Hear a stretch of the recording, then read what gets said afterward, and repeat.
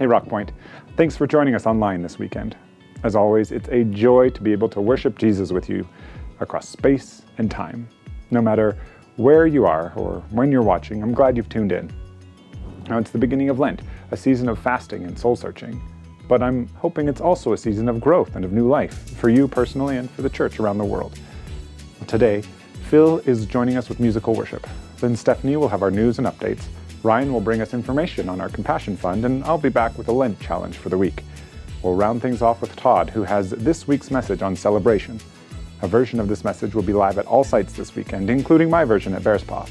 So if you bounce back and forth between online and in person, you don't have to worry about catching the same sermon twice in a row. And with all that said, let's pray and get into it. Jesus, today, my prayer is simply that you meet us in a new way and that we would not be unchanged by that experience. Transform us into your image and help us to live the lives that you would have us live. We love you and we honor you today. Amen.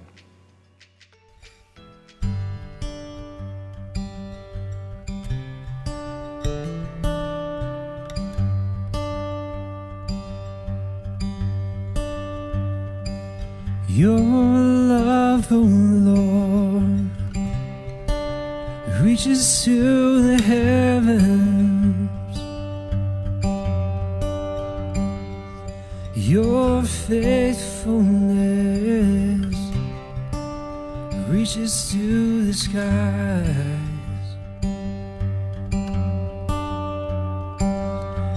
Your righteousness is like the mountains,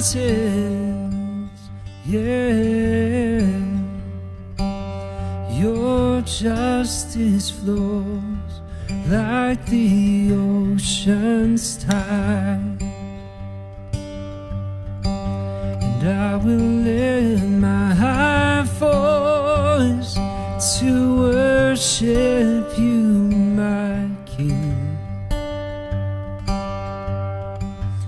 I will find my high strength in the shadow of your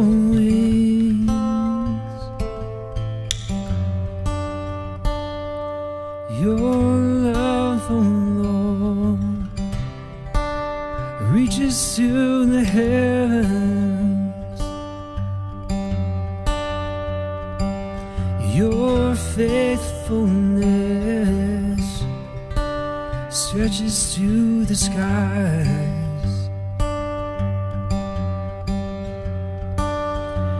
Your righteousness is like the mighty mountains. Oh, your justice flows like the ocean's tide. I will lift my voice to worship you, my King. And I will find my strength in the shadow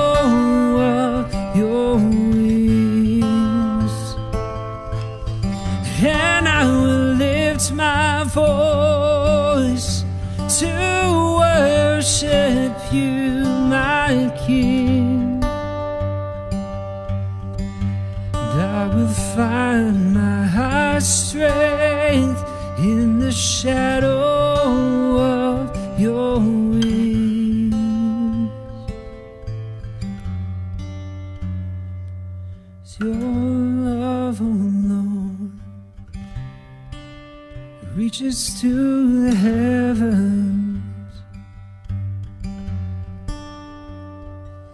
Your faithfulness stretches to the skies.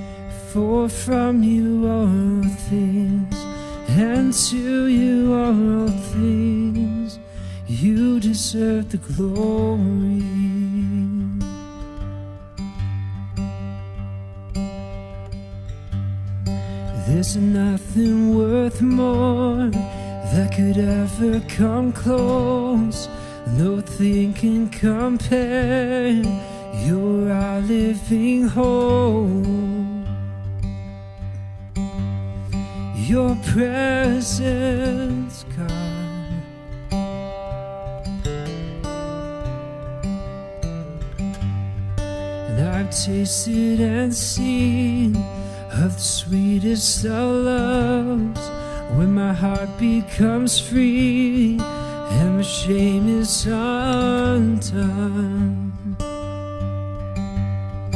Your presence, Lord.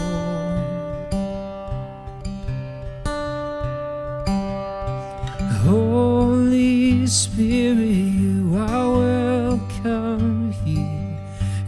flood this place and fill the atmosphere.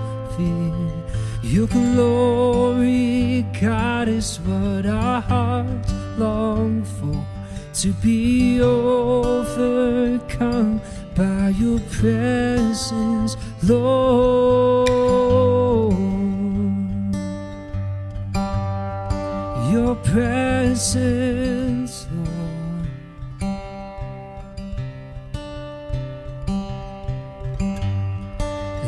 tasted and seen of the sweetest of loves when my heart becomes free and my shame is undone.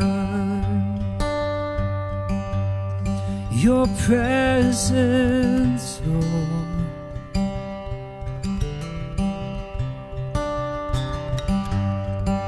I've tasted and seen of the sweetest of loves when my heart becomes free and my shame is undone.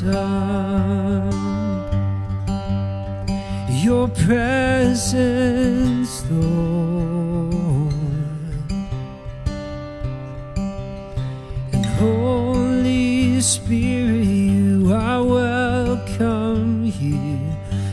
flood this place and fill the atmosphere. Your glory, God, is what our hearts long for. To be overcome by your presence, Lord. Your presence, Lord.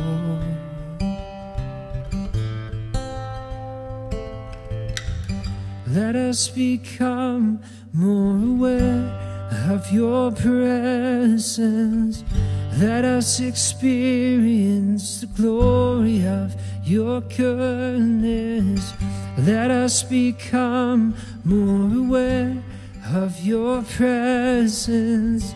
Let us experience the glory of your goodness. Let us become more aware of your presence. Let us experience the glory of your goodness. Let us become more aware of your presence. Let us experience the glory of your goodness, God.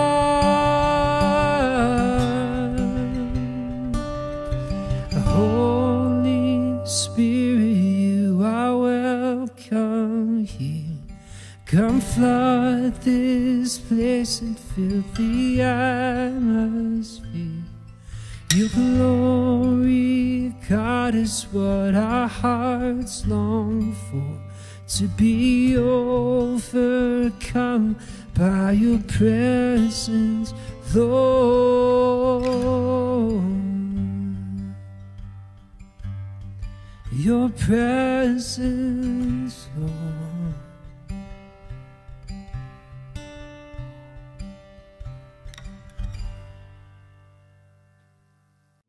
Hey everyone, Stephanie here with this weekend's announcements. If you haven't already signed up for our weekly newsletter, you can do so on our website, rockpointe.ca.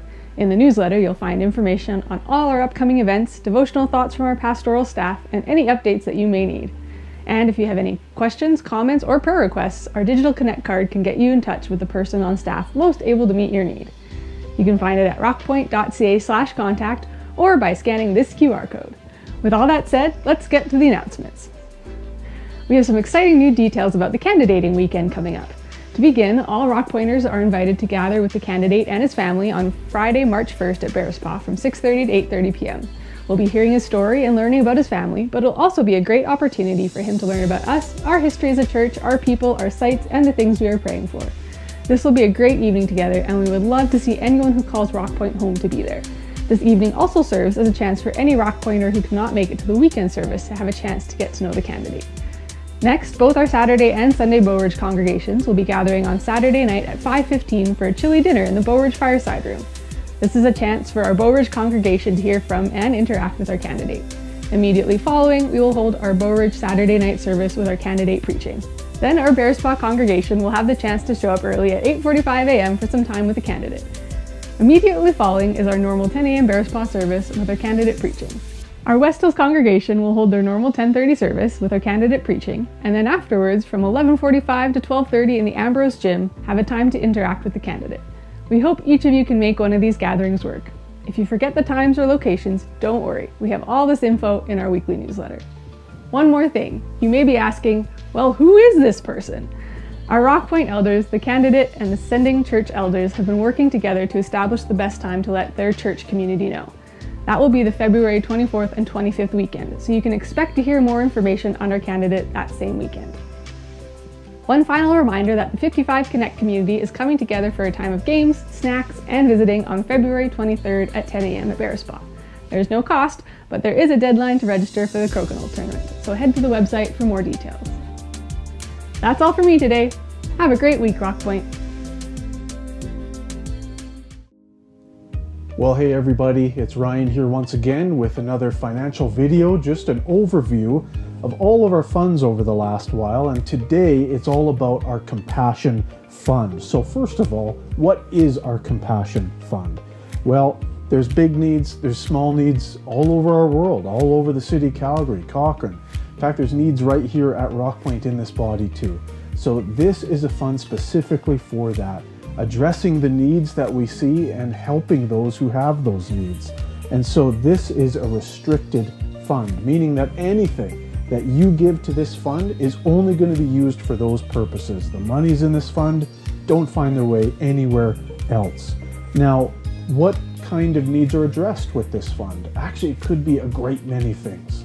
From helping somebody with gas or groceries or rent, all the way to partnering with maybe schools or other charitable organizations who have a similar vision as us in helping those with needs. Now, it could be people outside of Rock Pointe, maybe they just wander in and need some help, somebody we know on our street, or it could be people from inside the body who find themselves in need. Now, Rock Pointe is known across Calgary and Cochrane as a church that really cares, as a church that actually steps in. What a blessing that is, and our Compassion Fund and our Compassion team has been instrumental in this. So, what a blessing it is to have a fund like this and a team that drives it and manages it. And speaking of that team, what an essential team this is. So, just know that when you give to the Compassion Fund, there's a team in place to triage requests, to test the legitimacy of these requests, and actually to manage how money is expended and how needs are met. So it's amazing that we have such a great team to manage this for us as well. Now, where are we currently at with this fund? Actually, we're in a surplus position still. We were when we started the fiscal year in July 1st of 2023, and we still are. But here's an important thing to know. Actually, in the last about seven months, we have expended $92,000 through this fund, which is unbelievable. So many people have been helped through this fund. Giving remains strong, and we're still in a great surplus position. So I hope that you always give something to the Compassion Fund, and thank you for doing so. Hope this helps give you an idea of what this fund is all about. Hey Rockpointe, welcome to the first Sunday of Lent 2024. If Lent is a new thing for you, let me give you a quick rundown. Lent is the season in the church calendar that leads up to Easter. It is 40 days of preparing our hearts and spirits to celebrate Christ's victory over sin and death. It begins on Ash Wednesday, which we observed earlier this week, and it ends on Holy Saturday, the day before Easter. During this time, Christians around the world lean into three spiritual disciplines fasting, giving, and prayer. We will explore each of these disciplines in more detail in the weeks ahead, so don't worry if you're not sure how you can apply these to your life right now. If Lent is not new to you, I want to invite you to lean into the rhythm of Lent. We observe the Lenten disciplines from Monday to Saturday, and then we pause on Sunday to celebrate God's goodness and Jesus' resurrection. This gives us 40 days of fasting and 6 days of feasting, 40 days of challenge, and 6 of celebration. Now, in the past, I've often viewed Lent as a season of scouring, of gritting my teeth while I try to ignore my cravings for sugar or my desire to fill my time with music and podcasts and noise. But this year, I feel God calling Rockpointe to instead use this season to seek out Jesus. Some of that may be challenging, but in a culture that idolizes comfort, willingly taking on some discomfort is actually our act of rebellion against a world that wants to lull us away from God. To that end, each week, I'm going to give you a challenge, and I encourage all of us to lean into that challenge. It will likely take some time and effort, but so does all change. If your spiritual life is perfect already, then feel free to let these challenges pass you by. But if you're looking to get more out of your walk these days, get involved. Take a risk, see what happens. Today, my challenge is simple. Take time this week to think and pray on what are the things that are keeping you from spending more time with Jesus. Write them down. Share them with your spouse or a trusted friend or a family member. They may be sins or they may be distractions, but whatever they are, get them down. We'll come back to them next week. For me, I have too many hobbies, and I often am tempted to think more about my pastimes than about my Savior. So now I've shared this spiritual roadblock with all of you, so I'll be ready for next week's challenge. Now, a quick word before I let you go. Participating in Lent is not going to make God love you more. Nothing you do can earn more of God's love. He already loves you completely. It's also not a magical answer to all of the problems you may be facing. It's more like a spiritual workout. For many of us, we've allowed our spiritual muscles to weaken. But we're in a new season of growth here at Rock and I'm inviting everyone to join in that growth by spending more time with Jesus and less time on the things that don't really matter. So, Rock Pointe, let's grow together.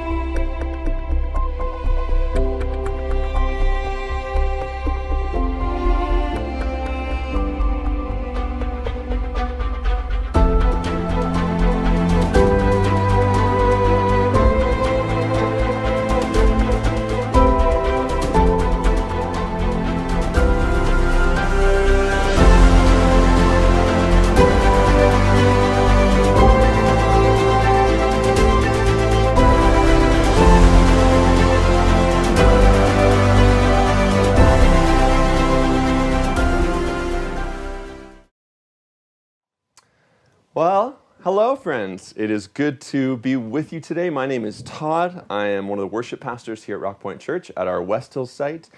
And accordingly, normally when you'd see me here on our online services, it would be leading some musical worship. But not today. Today, I have the great privilege of getting to speak with you and open God's Word together. Um, if you've been following along with us, we're in the midst of a series on the book of Exodus, and we've been calling it the glory of God revealed. And the reason we chose that title is because Exodus is a book in which God makes his glory known in incredible ways. It's a book in which God really pulls out all the stops and shows us who he is in dramatic fashion. He reveals himself in all kinds of ways. He reveals himself through his mighty deeds of judgment and deliverance. He reveals himself through these incredible theophanies or visible manifestations of his presence. He reveals himself through his own self disclosure. He tells Moses his name, uh, which he gives as Yahweh I am who I am. And he reveals himself in giving the law, his instructions to his chosen people, Israel, on how they are to uphold their end of this covenantal relationship that they've entered into with him. Now, up to this point in Scripture, you know, we've come to know about God uh, in different ways, often you know, more vaguely and in bits and pieces, but here in Exodus, God pulls back the curtain and he lets us right in on the divine mystery, both through the things that he says and through the things that he does. It's an incredible book, probably the most important book in all the Old Testament. You know, for the Jewish people throughout the ages, Exodus is foundational to their self understanding, how they see themselves, how they came to be, how God brought them out of slavery, made them a people. And constantly, as you continue through the Bible, Exodus is being hearkened back to through the rest of the story as this template for how God brings his salvation. Now, it's a big book. Um, a lot happens, and because we can't have this series lasting two years, we've had to pick and choose uh, which aspects of the book of Exodus we've looked at in our time together. But I hope that in your personal time reading the scriptures, maybe over the next couple weeks, you will take the opportunity to read through all or part of the book of Exodus on your own and to see the incredible ways that God reveals himself in it. And it's so important because, as we've been saying throughout the series, beholding God's glory is transformational.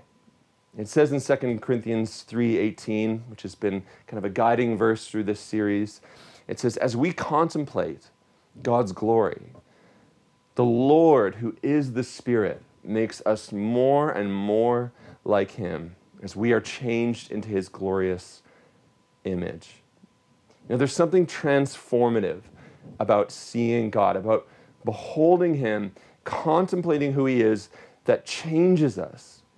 Indeed, I think it's the only thing that really does change us in a permanent, um, lasting way. Now, I don't know about you, but I have a great deal of changing that I still need to happen in my heart, ways in which I need to be transformed into the image of Christ. And so, as we begin today, as we open God's Word, let us pray that the Spirit would give us eyes to see, that we would behold something together of the glory of God as we open His Word. Let's pray. Father, we thank you so much for this time. Thank you for the privilege of opening up your Word.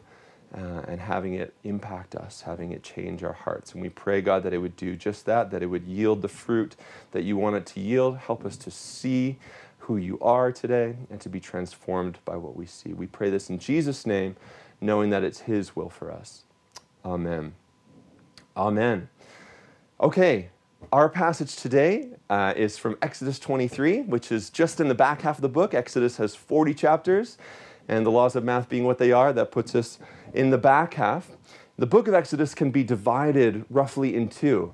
Uh, the first half is all action, and it describes you know, the well known story, the plight of the people of Israel as they're in slavery in Egypt under the tyrannical and despotic rule of Pharaoh. And it shows how God sees their misery and he hears their cries of anguish and slavery, and he springs into action on their behalf. First, he miraculously protects this little baby, Moses, who would grow to be God's chosen instrument.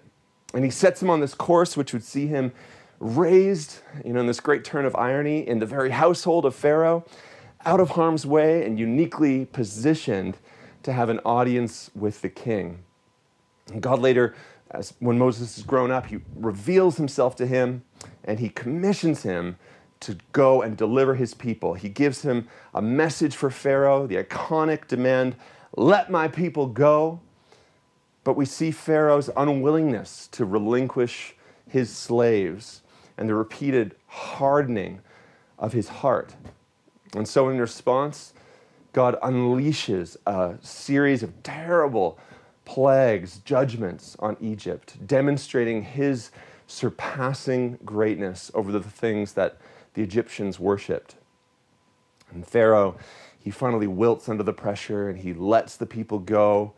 But then once again, he changes his mind, he hardens his heart and musters his chariots and pursues Moses and the Israelites all the way to the Red Sea, where God would finally orchestrate his final climactic act of judgment on Pharaoh and his slave masters.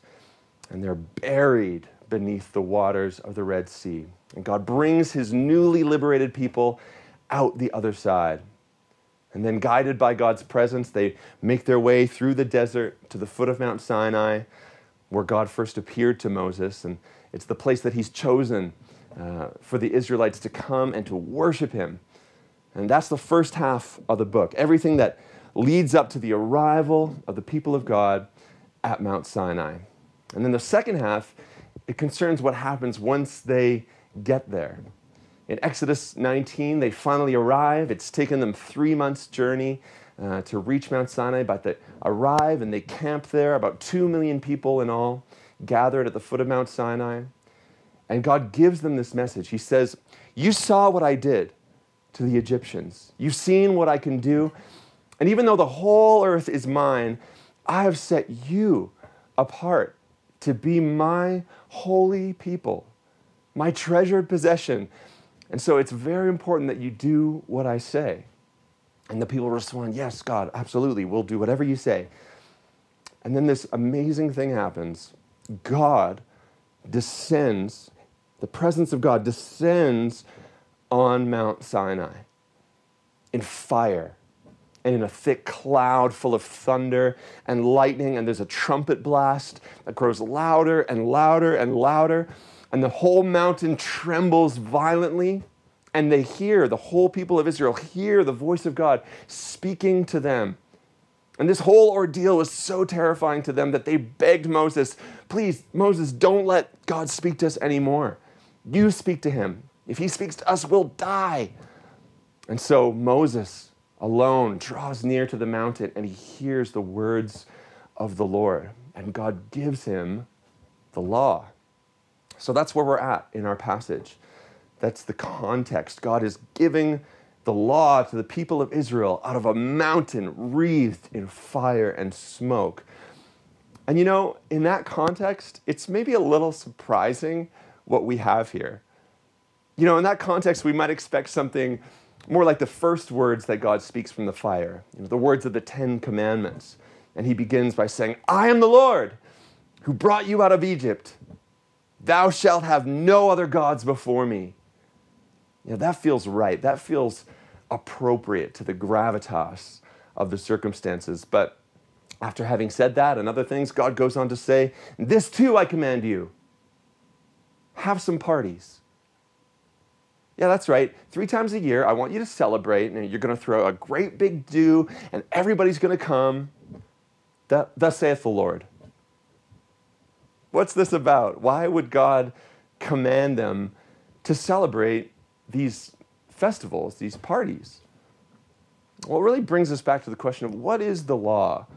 You know, often when we think about the law of Moses, and Nathaniel did a great job speaking about this a few weeks ago when he addressed the topic of the law. What is the law? Well, it's really natural for us to think that the law is about getting right with God, that it's really about personal salvation. But really, as Nathaniel explained, there's a lot more going on than that. You know, here's Israel, this newly formed people. Now, they're fresh out of 400 years of slavery.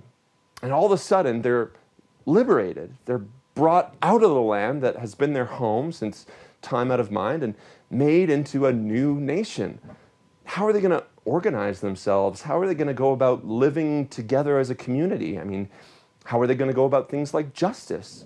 What if someone steals someone something or mistreats someone? You know, what if, for instance, someone's ox gets out and accidentally gores an, their neighbor? Well, in the law, it covers all this and more. God lays it all out. There are laws concerning all these aspects of living together as a community. There are laws about the treatment of foreigners. There are laws about loan forgiveness. You know, and a big part of the law is God instructing the people of Israel on what kind of a nation they're going to be. They're not going to model themselves, God says, after the Egyptians. Nor are they going to follow the example of the nations living in the land where God is leading them. They're not to be like other nations, they're to be different. And because Israel has this unique calling, they have the unique privilege of being holy to the Lord, set apart for Him. Israel is God's special people, His treasured possession, He calls them, chosen by Him, delivered out of slavery by His hand. You know, and this, this special role of Israel, it goes all the way back to the beginning when God first called Abraham, the father of the Israelites, and he made these incredible promises to him. He said this in Genesis 12 I will make you into a great nation, and I will bless you and make you famous, and you will be a blessing to others. I will bless those who bless you and curse those who treat you with contempt. And all the families on the earth, all the nations on the earth will be blessed through you. God's plan was not just about freeing an oppressed people, it wasn't just about their personal liberation from slavery and hardship. It was bigger than that. It was about making them a blessing to all the families of the earth. Israel was called to be the light of the world to all these nations who knew nothing of God. I mean, shortly before this, not even Israel really knew much about God. But when Moses came and he spoke to Pharaoh and he said, This is what the Lord says, let my people go, Pharaoh's response was, Who is the Lord that I should obey him and let Israel go? I do not know the Lord. And you know, the same could be said of every other nation on earth at the time. They did not know the Lord, but Israel had the special privilege of being the one people on the face of the earth who really knew God. And not only that, but the presence of God went with them wherever they went. So they had this unique calling. They were to safeguard and hold and treasure the knowledge of the one true God, to be His representatives on the earth. It's an incredible calling. I mean, what a privilege. But the question was this how is Israel alone among all the nations who did not, who did not know God, who held to different value systems, who were telling different stories, who practiced different religions, often very abominable religions, detestable religions? How is Israel, alone in the midst of all this, going to stay true to her calling? How were God's people going to stay rooted in their story, the real story, the story that God was writing. And so our passage today is really an answer to that question. It's part of God's solution. And this was how they were to do it. They were to celebrate, to feast, to have parties. We'll read it together uh, from Exodus 23. It says this God commanded, Three times a year you are to celebrate a festival to me. Celebrate the festival of unleavened bread. For seven days eat bread made without yeast, as I commanded you. Do this at the appointed time in the month of Aviv, for in that month you came out of Egypt. No one is to appear before me empty handed. Now celebrate the festival of harvest with the first fruits of the crops you sow in your field. Celebrate the festival of ingathering at the end of the year when you gather in your crops from the field. Three times a year, all the men are to appear before the sovereign Lord. Do not offer the blood of a sacrifice to me along with anything containing yeast. The fat of my festival offerings must not be kept until morning. Bring the best of the first fruits of your soil to the house of the Lord your God. So, Three times a year, they were to go up to the city of God, eventually, once they were settled in the land. Once in the spring to remember the Passover, once in the early summer when the first fruits of the harvest came in, and then once in the fall when they had finished gathering everything up from the harvest.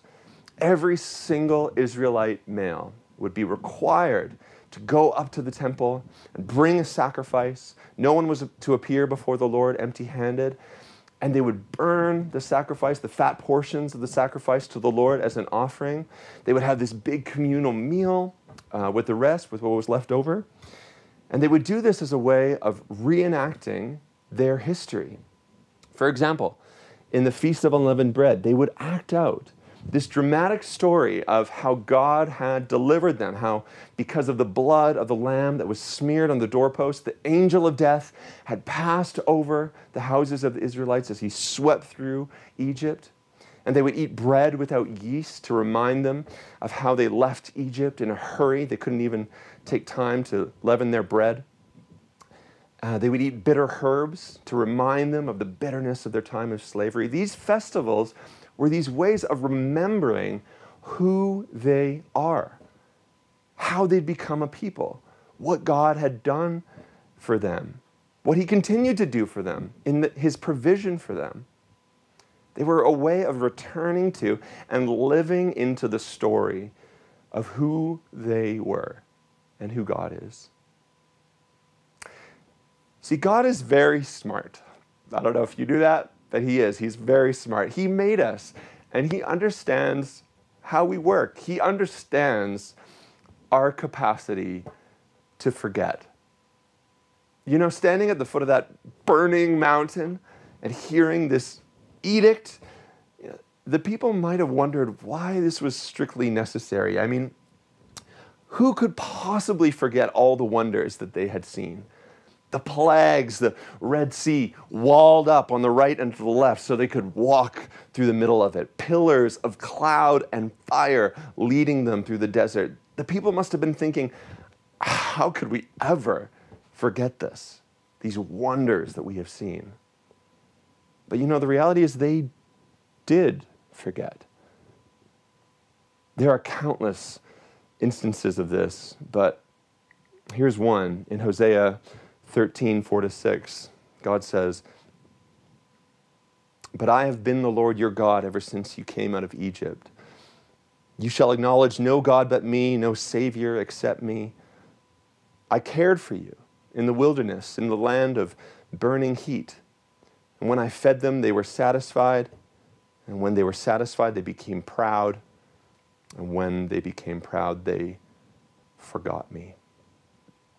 This is really a central theme throughout the tragedy that is the Old Testament is God's people's capacity to forget him, their proneness to wandering away and forgetting about the God who brought them into being.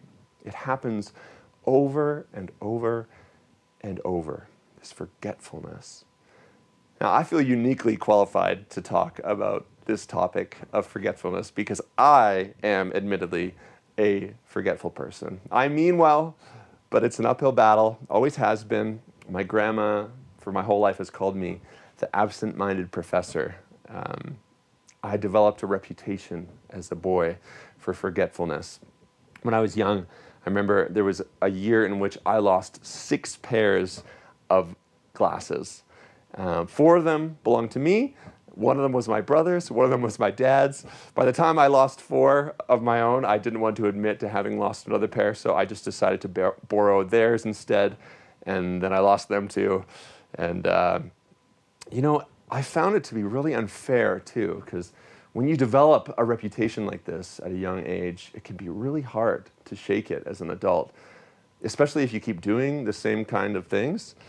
Uh, just this week, I forgot about an appointment that I had. Um, I've been known to show up at the wrong place for family hikes, for instance. Um, a few weeks ago, oh, I very nearly missed my stepsister's wedding. Um, very nearly. I did make it. But, uh, you know, I like to think that it's because I'm too preoccupied with matters of great importance to pay attention to such trivialities. Whether or not that's true, I like to think it. And it's okay though, because I know that I'm in good company. Uh, actually, my favorite writer, G.K. Chesterton, he was famously forgetful. Once he took the train to a city thinking that he was lecturing there, and he got there and he found out that he was mistaken, so he telegraphed his wife. He said, Am here. Where ought I to be? So, this is comforting to me that I'm not alone in my forgetfulness. But you know, sometimes I've forgotten far more important things than just where I happen to leave my glasses. There was a time uh, as a young man where, you know, I really lost sight of who I was, of my sense of purpose um, for my life, and the sense of being called by God. I, I, I lost sight of that. I, I forgot those things. And I remember in the midst of that season, a friend sent me a video by uh, Tim Mackie, if you're familiar with the Bible Project. Excuse me. It was Tim's overview of the biblical story. And as he walked through these great themes of God's creation and man's falling away and Christ's redemption, I found myself weeping. It was like my heart was reawakening to the truth that I had forgotten. And in that moment, I remembered, oh, this is my story.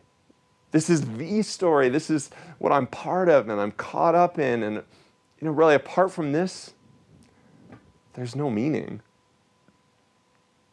See, when it comes to faith, when it comes to holding on to the things of God, you know, the reality is we don't live in a neutral territory. Just like Israel was surrounded by different people telling different stories, we live in a world that is full of competing stories, stories that compete for our attention, other than the true one, the story God is writing in the world and in our lives.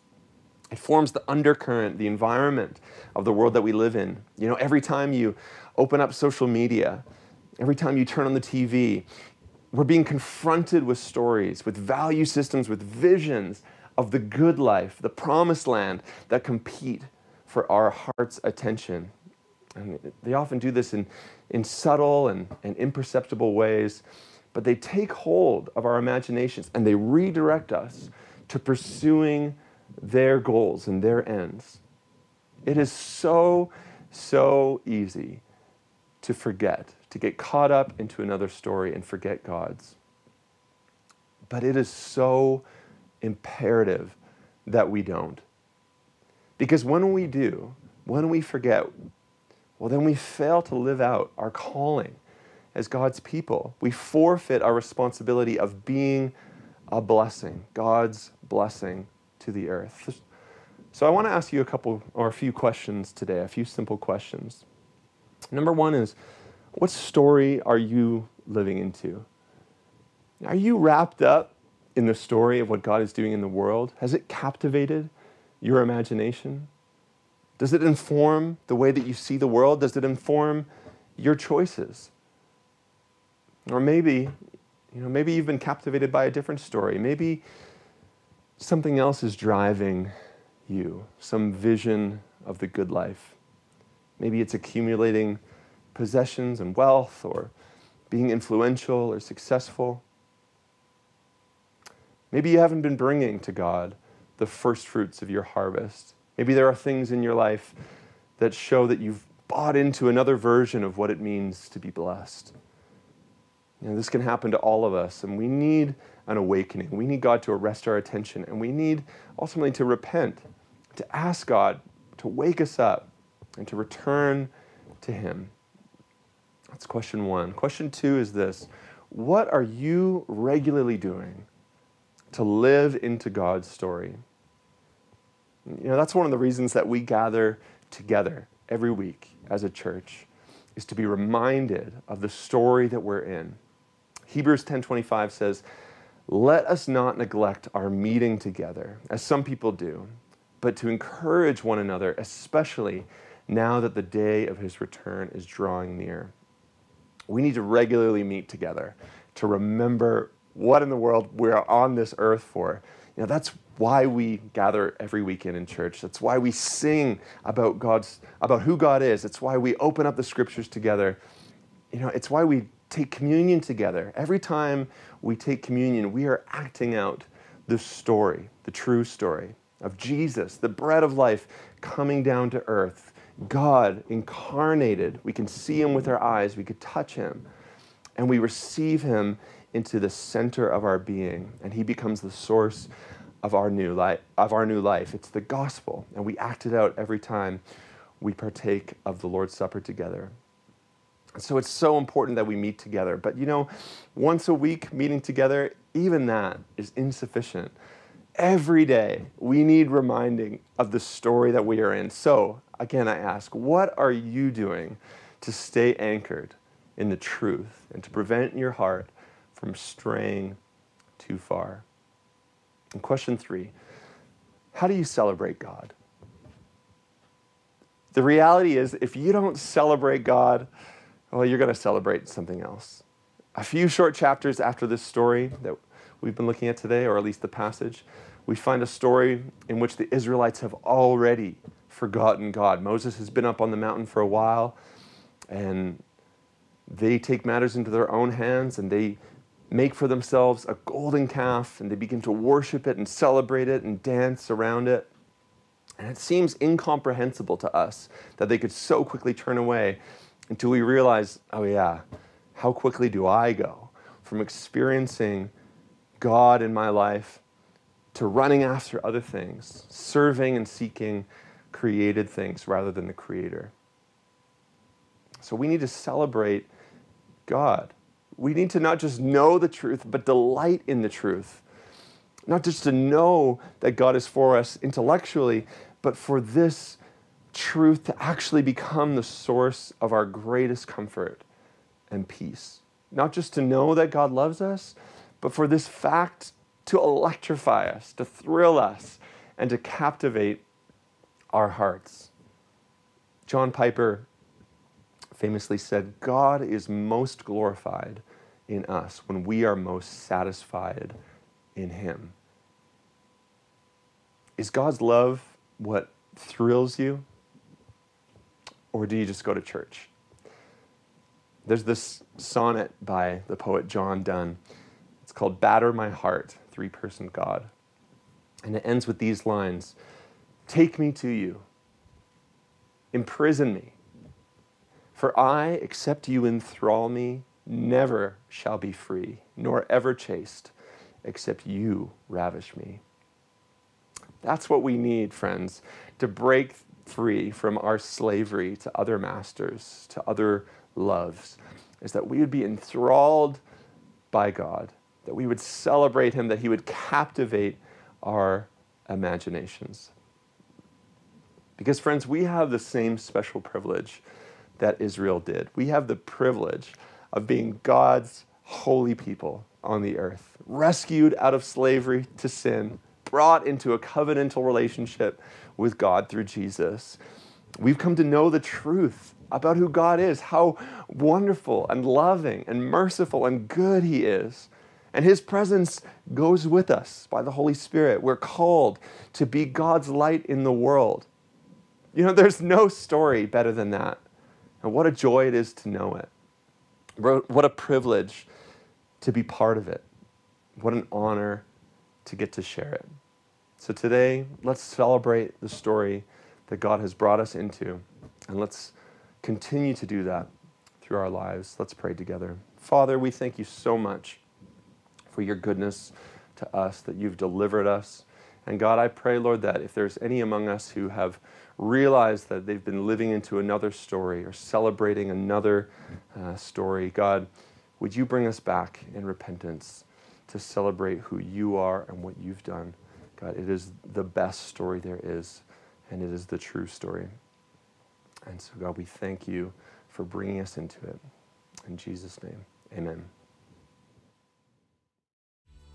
Thank you, Todd. And thanks again to all of you for joining us today. I hope you are able to head into your week with new challenges to tackle and new thoughts to wrestle with. I'm excited to see what Jesus has in store for us through the Lenten season this year. And as always, if you've got any questions or need prayer support, please reach out to the church. And if you're going to be around Calgary next weekend, why not come join us for an in person service at one of our sites? We'd love to see you.